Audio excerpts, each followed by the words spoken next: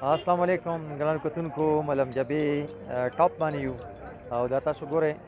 دا ملم جبی با اډر یا بازار تاسو ته سوای تدینه بر چې بیا کملار ده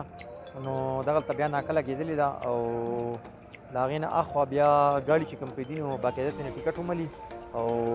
کچلار ده بر اپشرونه دي نو هغه ته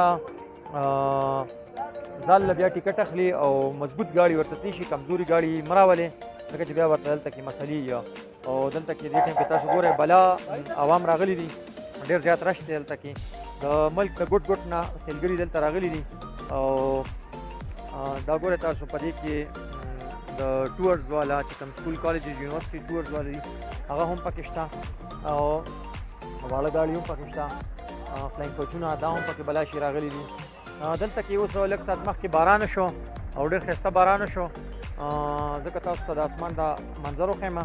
نو ځای په ځای وریځ ده او ځای په ځای اسمان شین دی نو بس چې کوم ځای وریځ وي نو هلته کې څاڅکي کېږي باران وشي نو ډېر زبردست سمیلا جولا غونتی رجحان دی او د نخترو ځنګلونو خواړو څه کمی نشته دومره بلا نخترې او ځنګلونه دي چې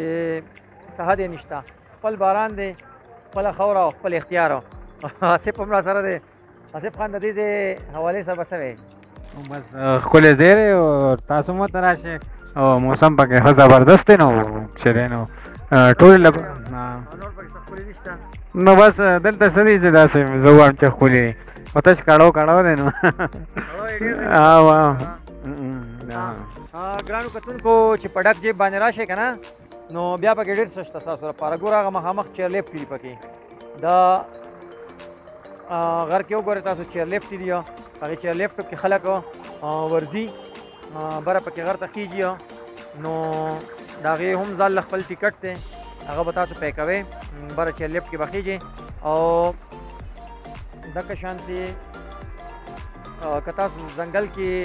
کینې یا د دختر خسته ګڼ ځنګلي دی پای کې تاسو ځان سره خپل خوراک راوړل نه هغه تاسو پای کې کولی شي خپ آرام بر په غرونو باندې وره هم پرتی دي او دلته کې سونه لګران دي پکوړې مې وختي راغستلې نو 25 روپے کیلو باندې ملاويږي نو اوس پکوړې خدا سي چې دا تاسو خامخا دلته ګرم راخلې کنه خو چې کوم څیزونه لکه مطلب چکن شو چکن کړای شو لکه نه نو دا تاسو ځان سره خپل لوړی شي بریاني شوله دا تاسو ځان سره خپل لوړ شي خوراکونه یا فروټ وغیره شون ځان سره خپل لوړی نو تاسو ډېر انجوایمنټ وکړئ دلته دلته هم ملاوي کې څیزونه هر څه څیز ملاوي خو ګران دی او دا وګوره تاسو ګوره دا دکان لري بیک سایډ تاسو ګوره بس دا وړې وړې کوکي دي دا دکان لري او سات تر سات دلته کې رش دی نو هغه ډیریږي پلیمان ته وسوي بس موږ هم څه وایو یاره بیخي څه نه شوي دی چې تاسو بیا تا وایو ملک د ګوټ ګوټ نه سیلګري دلته را روان دي او سات تر ساته رش ډیریږي او دا تاسو ګورئ بلا عوام دلته راغلی دی او زما د ملګری خوې چې ملم جبت سره کړو کړو دی په بهر حال چې کومه ګرینری او کوم نېشنل بیوټي دی دلته کې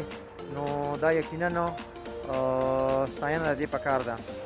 ځکه چې دا د قدرت عطا ده دا تاسو ګورئ دا چکر شي او پیرخه او خامخا راشي ان شاء الله دا چې کم دی دا به تاسو خوښیږي ٹھیک ده بس باقی مالا نوید بهزاد لیجات را که چرته چه خاد و آباد سید الوی الله پامان.